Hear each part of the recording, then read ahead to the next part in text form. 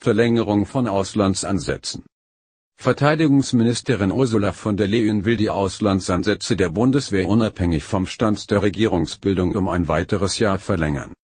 Sie werde in einigen Wochen mit allen Fraktionen über die Verlängerung der Bundeswehreinsätze sprechen, sagte von der Leyen den Zeitungen der Funke Mediengruppe.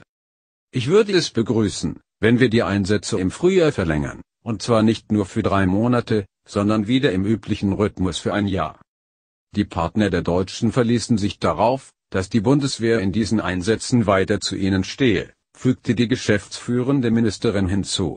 Außerdem bräuchten die Soldaten eine klare Rechtsgrundlage.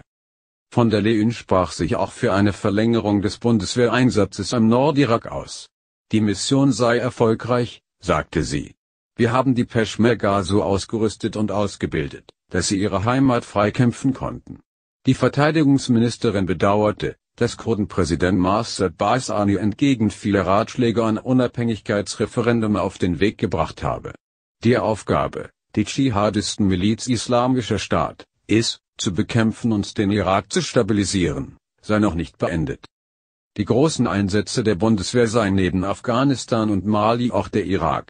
In allen dreien stehen wir mit unseren Partnern im Kampf gegen den Terror, sagte von der Leyen.